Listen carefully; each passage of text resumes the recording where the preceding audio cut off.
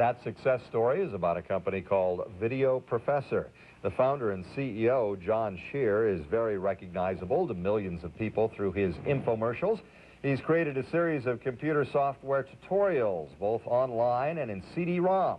The company estimates his product has been used by more than 5 million people so far. And John Scherer joins us this morning from his Lakewood headquarters of Video Professor. Good morning. Hi, John. Good morning.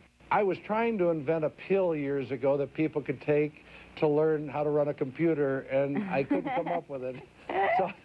So, so I decided that thing, the CDs huh? would be the next best thing. hey, congratulations on your success. It's a great Colorado company, Yeah, and thanks, uh, best of luck to you. well, thank you.